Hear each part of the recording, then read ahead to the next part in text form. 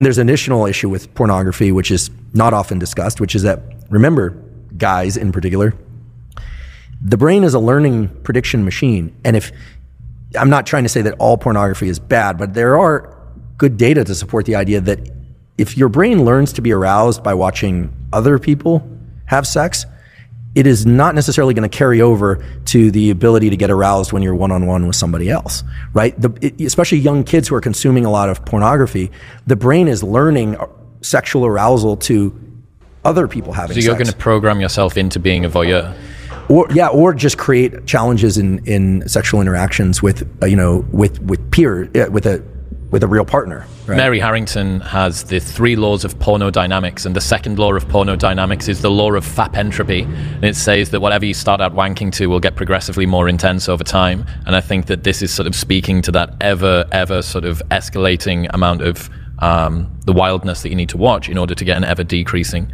stimulus that comes back. Yeah, and you know, here I'm I'm approaching this only through the lens of biology, right? I'm not a you know, I'm not a psychologist, and I'm certainly not um, political in it, in any way. At least not. I have ideas about politics, but I just don't discuss them publicly.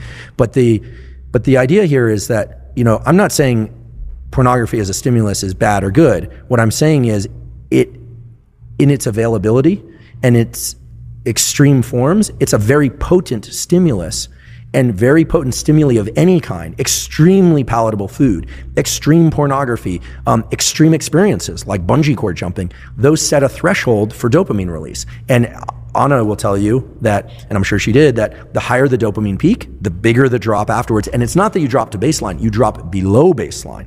So again, it's not, these things aren't good or bad. They just have to be controlled in a way because when people are pursuing dopamine peaks over and over and over, and they aren't getting them, typically it's because they've been pursuing that activity far too often.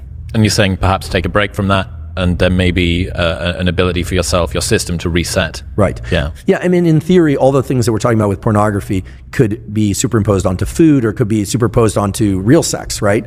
Um, that one also has to be cautious there, right? But the cycling back and forth between dopamine and low dopamine states, dopamine fasting, as it were, but maybe just low dopamine states. These are natural rhythms that exist in the nervous system. We have to remember what the dopaminergic system is there for. I'll say it again, I wasn't consulted at the design phase, but we know as a, as a generic form of motivation and pursuit, you can imagine the human or the animal that's hungry or thirsty.